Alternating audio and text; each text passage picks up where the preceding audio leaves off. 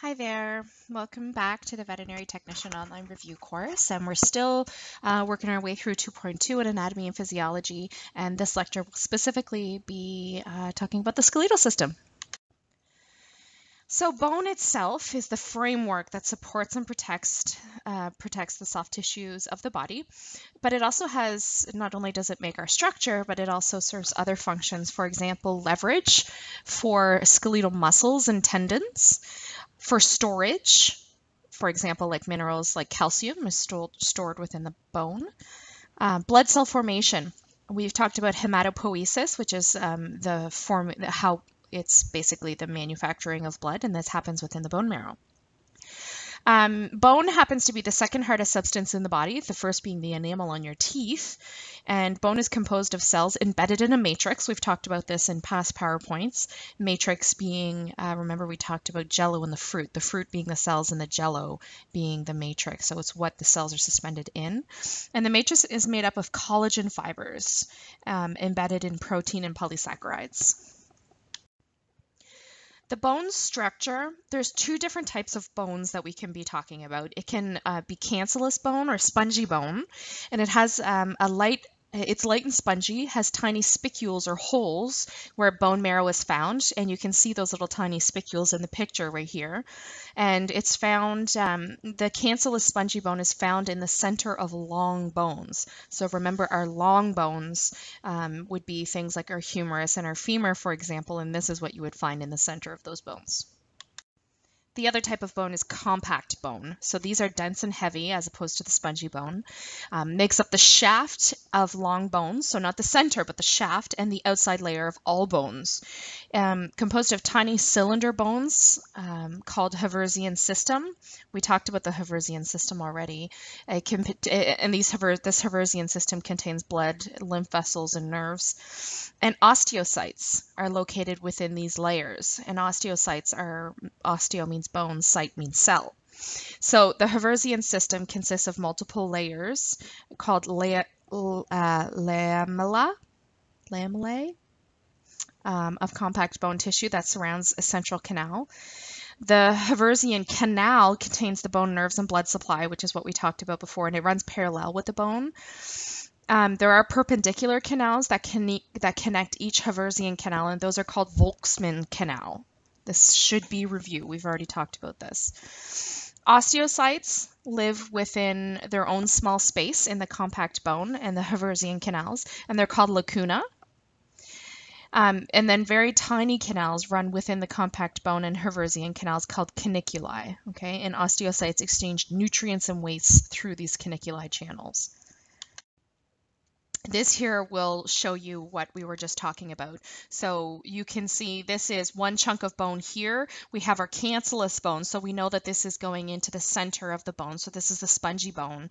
And then the compact bone is everything out here. And if you can take it, you can see that there's this circular tube here, and that's called a Haversian system, okay? And within the Haversian system, there's the Haversian canal, okay? And this is where the blood and nerve uh, vessels are going in and out of. And um, in between these Haversian canals, connecting one to another, are the Volkmann canals. You can see that. So it runs um, per, uh, perpendicular to the bone. And um, all these little dark circles that we're seeing in here, these are the caniculi. This is where the osteocytes reside. So that's where osteocytes are bone cells. So the formation of bone happens there. So continuing on with the compact bone structure, um, we have our spongy bone in the center of our long bones and then our compact bones. You can see the caniculi, those dots there, and that's where the osteocytes lie. Um, and the uh, this is a close-up view uh, within there, and you can see the lacuna, the osteocytes are in there, osteoclasts osteoblasts, caniculi, all of that in there. So again, it's just demonstrating the uh, internal anatomy of that compact bone. This is a micrograph of a section of compact bone. Um, it's very interesting. You can see the Haversian system. The dark circle is the Haversian canal. Okay, so that's where the blood vessel and nerves go through, which is surrounded by rings. Uh, concentric lamellae, I don't know how to pronounce that, I should have figured that out, um, of calcified bone matrix. The lamellae contains dark spots, and um, these are the lacunae holes where the osteocytes are found. So very interesting. Bone structure.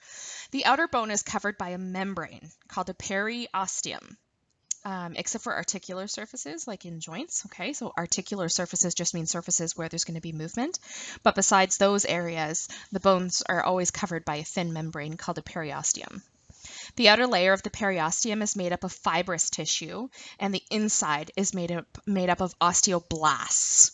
So this enables the bone to grow in diameter and helps heal bone fractures. So this periosteum that wraps itself around the bone, um, the outside is a fibrous tissue, but the inside is made of osteoblasts. And that's how bone formation happens is thanks to these osteoblasts. So if a bone has to grow larger in diameter, for example, if we're thinking of a grown puppy, um, these growing puppies, the, the diameter of their bones will get larger thanks to these osteoblasts on the inside of the periosteum that's wrapped around that bone. And um, the inner hollow part of a bone is lined by a membrane called the endosteum. Okay, and this contains osteoblasts as well that will help with bone formation. So three different types of bone cells that we're going to be talking about. Um, osteoblasts, we've already mentioned that these, and these are the cells that make bone. They produce bone. They secrete the matrix of bone and then supplies minerals to harden it. And that whole process of hardening that bone is called ossification. There's osteocytes, once surrounded by the ossified matrix, which is the bone. Osteoblasts are called osteocytes. Excuse me. So these cells can actually revert back to osteoblasts if an injury happens, and then it can continue on with ossification, and that's how a fracture actually ends up healing. And um, osteoclast is kind of like the evil twin of osteoblast, and they actually eat away at bone. But this is necessary. Bones must be remodeled constantly, and osteoclasts remove bone from where it is not needed. So these cells allow the body to withdraw calcium from bones when an animal is hypocalcemic. So if there's a, um, a patient that's hypocalcemic um, or low calcium in the blood, the body's automatically going to start taking it from the bones. And it's the osteoclasts that actually do that. And um, so that's why in you know older patients we need to make sure well in any patient we have to make sure that the calcium level in the diets are appropriate so that they don't become hypocalcemic because then their bones are going to get pretty frail because of these osteoclasts they're going to start removing calcium from the bone and, and giving it to to our blood. So that's what the osteoclasts do so as far as the blood supply to our bones, most blood vessels travel through the Haversian canals and the Volkmann canals, which we've already showed you, and it brings nutrition to the osteocytes. Remember, the osteocytes are the ones that are going to make bone. There is something called a nutrient foramina in that bone, and it's another entrance for large blood and lymph vessels and nerves, primarily found in long bones and carry blood in and out of the bone marrow. And it's important to know that an, um, that a nutrient sorry, important to know that a nutrient foramen may resemble a fracture on an x-ray. So when a doctor is viewing an x-ray, they have to be aware that this nutrient foramina um, can resemble a fracture, which I think you'll see on the next slide. Yeah, so this is a an x-ray of a long bone, and you may look at what that arrow is pointing at, that line there, and go, hmm, that looks like a fracture.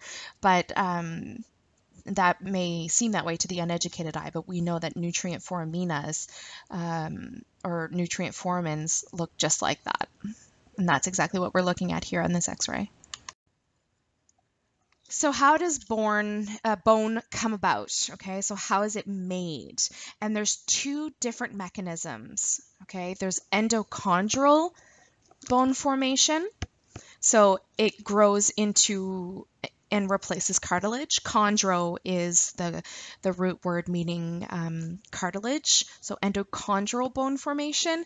And there's also intramembranous bone formation. So this develops from fibrous tissue membrane. So there's two different ways, and we're going to talk about both of those endochondral bone formation, most of the bones develop this way, okay? So the bone, or what's going to be bone, just starts out as cartilage, and that's within the fetus. So when a dog is pregnant, um, we talked about how you're not going to be, um, we talked in class about how when taking an x-ray of a pregnant mother, you're not going to be able to see the bones um, until the third trimester because the bone formation doesn't happen until then.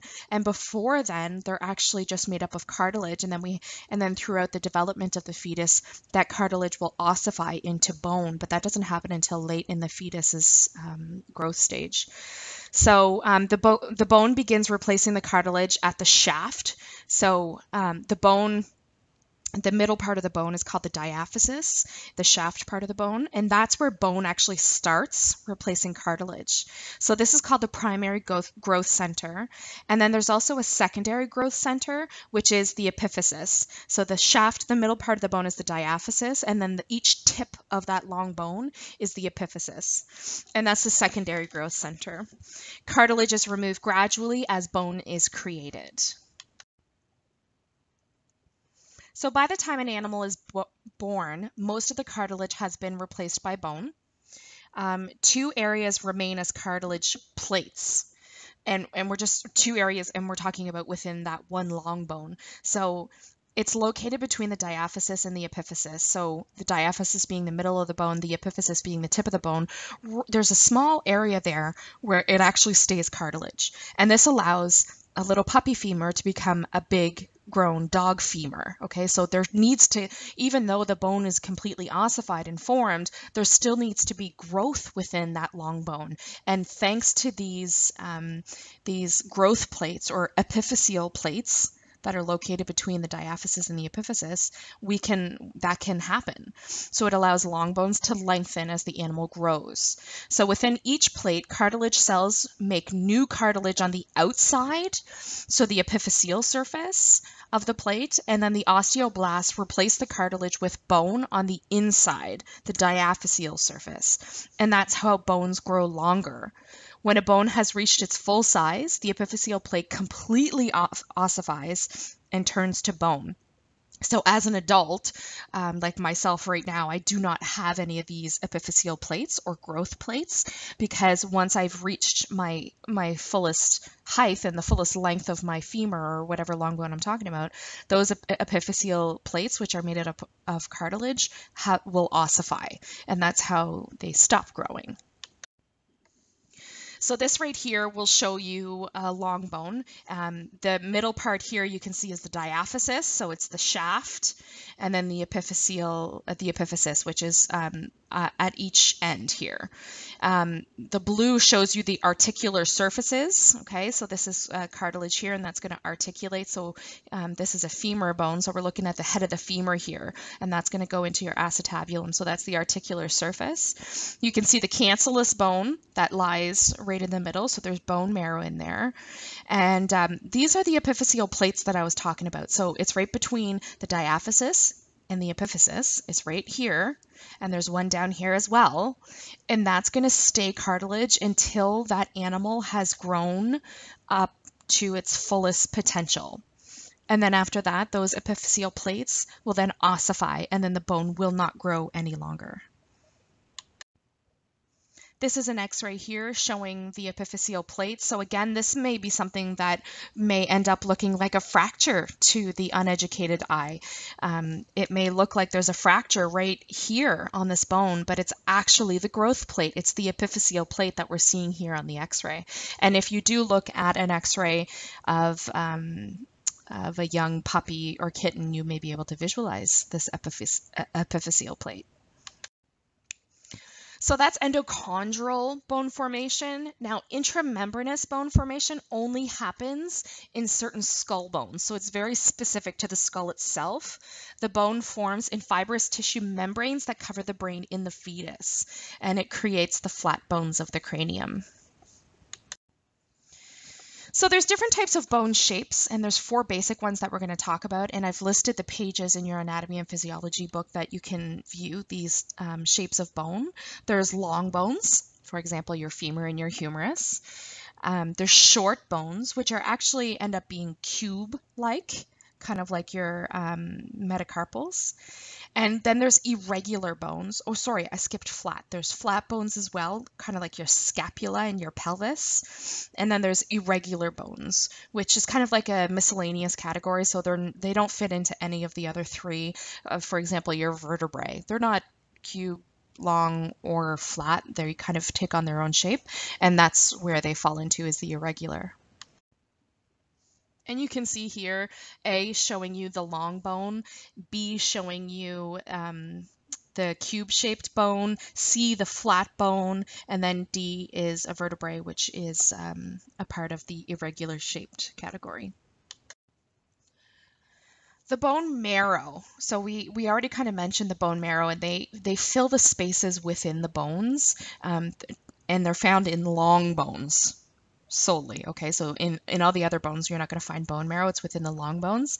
And there's two different types of bone marrow. There's the red bone marrow, and this is a very important type of bone marrow because this is hematopoietic tissue. This is where hematopoiesis happens, is within the red bone marrow.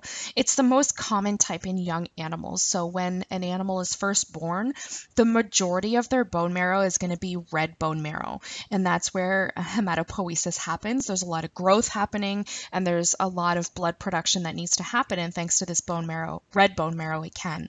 Now, as you get older, a lot of this red bone marrow will turn into yellow bone marrow. And it's actually adipose connective tissue, um, adipose being like a fatty connective tissue.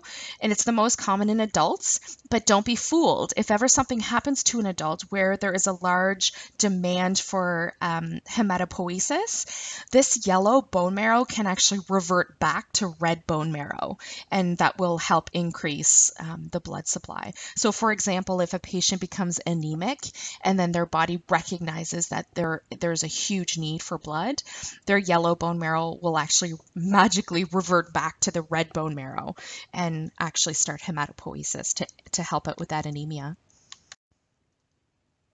Now, bone features. So there's different things to talk about here. There's articular surfaces. We know that articular means movement, so um, typically we're referring to joint surfaces here. There's processes. That just means any kind of protrusion that comes off of a bone, any lumps, bumps, or other protrusions off of a bone. It can be part of a joint or an area where a tendon actually attaches muscle to bone. So these are called processes. And then there's holes and depressed areas within a bone as well. Foramen when we're talking about the foramen of a bone, it's a hole. And uh, nerves and blood vessels usually pass through one of these. Um, and then there's the fossa, which is a depression or a depressed or sunken in area of the bone. And it's usually occupied by muscles or tendons. so the skeletal system is um, basically separated into two different parts. There's the axial skeleton and the appendicular skeleton. So the axial skeleton is the bones of the head and the trunk. And if you take a look on that page 111 there, you can see that. And then the appendicular skeleton is, um, just think of the appendicular as like appendages, okay? So it's all the appendages. So the front legs and the back legs, and um, including the scapula, scapula and the pelvis. Um, and that makes up the appendicular skeleton. This here shows you the axial skeleton, so you can see it's the main, it's the head and the main core of the body, so all the way down the vertebrae. The ribs are included in this as well as the sternum, but you can see that the scapula and the pelvis are removed. This is where the scapula would go and this is where the pelvis would go. They're removed because those are a part of the appendicular skeleton. They're a part of the appendages. So the axial skeleton, if we start talking about the skull, it consists of 37 different bones, and they're all attached to each other by joints, and those joints are called sutures. Um, the hyoid bone is a part of the axial skeleton. It looks like an H, and it's located high at the neck, and it helps you swallow. There's the spinal column, which extends from the skull to the tip of the tail, and it's divided into five different regions. So there's the cervical vertebrae, So the cervical spinal column, cervical vertebrae, and there's seven of those vertebrae. There's the thoracic vertebrae, and there's 13 of those.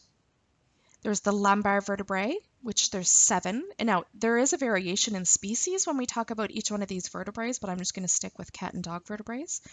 And then the sacral, which is uh, made up of three vertebrae, and um, coccygeal, which it, it, can absolutely vary depending on the length of the tail. Um, ribs form the lateral wall of the thorax. It helps move air in and out of the lungs, and then the ribs will attach ventrally to the sternum. Uh, this is also called the breastbone, and it's made up of several sternebrae, kind of like the, the spinal column is made up of vertebrae. The sternum is made up of sternebrae bones, and the first sternebrae is the manubrium, and the last one is the xiphoid. So only those two sternebrae are actually named. So the very bottom one, uh, closer to the abdominal cavity, is called the xiphoid, and then the very first one is called um, the manubrium. This here is showing you the appendicular skeleton. We saw that the axial skeleton was just the skull and the core. This right here is showing you the appendages. So the in the front you have the scapula all the way down to the tip of the toe, and then in the back you have the pelvis all the way down to the tip of the toe, and this is what makes up the appendicular skeleton. So let's start with the thoracic limb for the appendicular skeleton. We start up by the scapula, which happens to be a flat bone. We move on down to the humerus, which is connected to that scapula. The humerus is a long bone of the upper arm, also called the brachium. Um, and then after that, past the elbow, we have the radius and the ulna. Now, the radius is the main weight bearing bone of the forearm also called the antebrachium. And the ulna, which is the smaller of those two bones, is the major portion of, it makes up the major portion of the elbow, but it is the smaller of the two bones, okay? So um, right below the elbow, you'll find the radius and the ulna, and they're kind of side by side, radius being the bigger one, and it's the, the weight-bearing bone, and then the ulna, which is the smaller of the bone, and it makes up the major portion of your elbow. After that, you go down to um, the carpal bones, which are two rows of carpal bones, and um, it, they both of those make up the carpus, which is the wrist. Okay, um, I think a few powerpoints back we were talking about those small cube-shaped bones, and I may have said a metacarpal, but I meant to say carpal. Carpal, those are the cube-shaped bones that we'll have in the in that category. And then we have metacarpals, which extends from the wrist all the way to the knuckles. Okay, so if you move your fingers back and forth, you can see your metacarpals underneath your skin moving. And those are the fairly longer bones that connect all the way up to your knuckles. And then you have phalanges, which are fingers, and that's where it ends for the thoracic limb. For the pelvic limb, we start up at the pelvis. Obviously, the pelvis itself is made up of three bones, and um, the those three bones are on each side of the pelvis. So the pelvis is separated um, in half to a right side and a left side. So each side has an ilium, an ischium, and a pubis. And then the has come together at the pubic symphysis, which is um, a cartilage there that allows for stretching, for example, during birth. So the pelvis itself um, is connected to a femur, which is the long bone of the thigh. And then after the femur, before you get to the tibia and fibula, you're, you're going to have your um, you're going to have your knee, which is called a stifle. Sorry, I just went blank there. A stifle. And um, below the stifle, you're going to have two bones, which is the tibia and the fibula. The tibia is the main weight bearing bone of the hind leg the cranial aspect forms the stifle. And then after that, you're going to have the fibula, which is the smallest of the two hind leg bones. So, kind of like the front leg, we had the humerus, and then after the elbow, we had the radius and the ulna that were side by side. The hind leg is very similar, where after the femur and after the knee, the stifle, you're going to have the tibia and the fibula that are going to also be side by side. The tibia being the main weight bearing bone and the larger of the two. After that, your ankle is going to be um, the tarsal bone or the tarsus. And these are two rows of tarsal bones, which makes up the tarsus. In quadrupeds, it's called a hock. Okay, so you wouldn't call it an ankle. Excuse me. Um, the metatarsal bones are is the equivalent of the metacarpals. We said those extend from your wrist. The metacarpals extend from your wrist to your knuckles. It's the same on your feet, except for they extend from the hock down to um, the tips of your phalanges, which are the toes, and that's where the pelvic limb ends. So in regards to joints uh, and our skeletal system, joints are the junctions between two bones. Okay, so some move and some don't. So there's three different classifications of joints. There's fibrous joints. These fibrous joints are immovable and um, the animal the anatomical term is synarthrosis. For example, remember we talked about the cranium being or the skull being made up of all these different types of bones, and they're all connected to each other by sutures, and that's where those bones connect and touch each other. Well, those are fibrous joints. They're, they do not move. You can't move your skull around because they're immovable. Synarthrosis. Okay, so they're immovable joints. The second category is cartilaginous joints. So these are slightly movable. The anatomical term for this is amphiarthrosis. And this is an example of this is your pubic symphysis. So your right and left part of your pelvis is connected to each other in the middle at the pubic symphysis. And this is um, uh, movable cartilage. So during childbirth, those right and left parts of your pelvis can actually widen uh, thanks to the pubic symphysis, and that is a joint, uh, an amphiarthrosis joint. So it is slightly movable, but again, I can't I can't grab onto a dog's hips that's just in for an exam and wiggle them back and forth because that joint is only slightly movable, nothing like a synovial joint. which is our next category, and the synovial joint is very freely movable. The anatomical term for this is diarthrosis, and it's, for example, your stifle. Um, it's enclosed by a joint capsule. It contains joint fluid, which is called synovial fluid, um, and it's lined by a synovial membrane. Okay, hence the synovial joint is lined by a synovial membrane that produces synovial fluid. Okay, this all just mean this is all found within the freely movable diarthrosis joints. Okay, for example, elbow, knees, those are all synovial joints.